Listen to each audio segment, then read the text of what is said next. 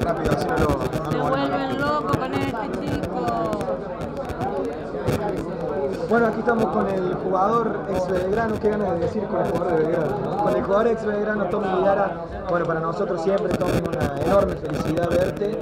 Eh, quiero que me cuentes la sensación cuando te estabas yendo de la cancha y el aplauso enorme de toda la, de toda la gente de Belgrano. Ah, yo, la verdad que es especial para mí volver de vuelta acá. Eh, estoy muy contento, la verdad. eh, se extraña, se extraña un montón. Eh, hay un clima muy lindo, es, es especial estar en, el gigante y bueno, nada, lo, disfruté mucho, la verdad. Pero bueno, como decía allá, vine acá a competir, a dar lo mejor por, por la camiseta que me toca hoy defender. No se nos dio, pero, pero la verdad que eh, disfruté, disfruté poder venir acá, extrañaba un montón, mucha gente conocida y la verdad que, como siempre digo, esta es mi casa. Para la pregunta del rigor, ¿existe la posibilidad de que alguna vez Tomás Guidara vuelva a vestir la remera de Belgrano? Sí, obvio, obvio que sí, obvio que sí. Pero en el momento, no sé si es el momento ahora, pero obvio que sí. Me encantaría, esta es mi casa. ¿Cómo lo viste Belgrano? Eh, hoy por, no- por momentos muy superior en el partido, ¿no? Bien, bien, bien, sí, ellos saben lo que, lo que juegan, saben lo que juegan, hay jugadores que están en un grandísimo nivel. Eh, nada, la verdad que hoy fueron eficaces, llegaron, la que llegaron la convirtieron y después hicieron un trabajo táctico muy bueno. Eh, están haciendo las cosas bien hace rato, los felicito, la verdad que sí. Y bueno, me, me alegra mucho por ello. Está costando mucho a Vélez, eh, obviamente se nota por ahí la mano del Tigre Gareca. Nos sorprendió mucho que en el primer tiempo ya de base hizo dos cambios, viste que no es muy habitual en el fútbol.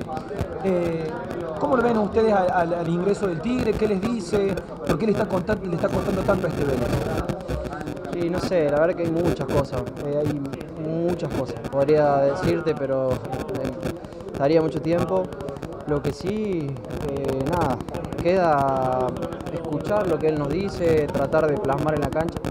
Y después todo lo táctico, técnico, eh, yo creo que la actitud eh, tiene que estar por encima de todo y, bueno, hay partidos que sí lo tuvimos, hay partidos que no. Yo creo que eso es muy importante y bueno, tenemos que seguir mejorando.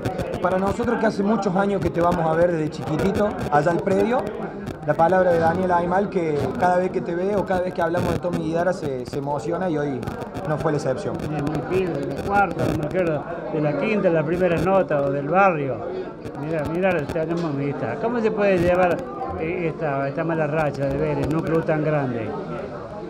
Nada, la verdad que, eh, como decís vos, este, exige, se exige un montón, como en todos lados.